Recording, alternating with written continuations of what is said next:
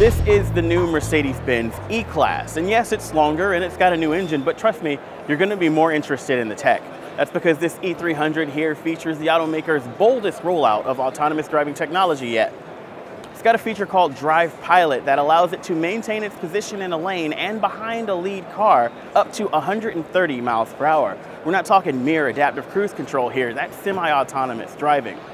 It's also got the very first implementation of V2X communication. That means that it's got the transmitters and receiver to allow it to communicate securely and wirelessly with other cars and infrastructure.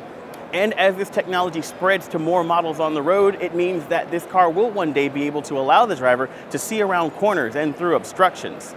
That's a really big step on the road to autonomy.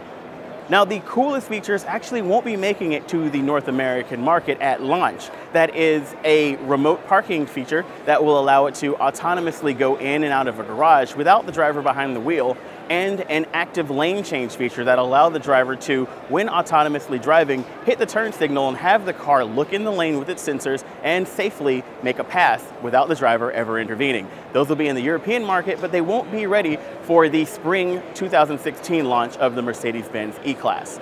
I'm Antoine Goodwin. We've been on the floor of the 2016 Detroit Auto Show taking a look at the new Mercedes-Benz E-Class. You want to check out Roadshow to find out more about what's under the hood and what sort of performance you can expect from it.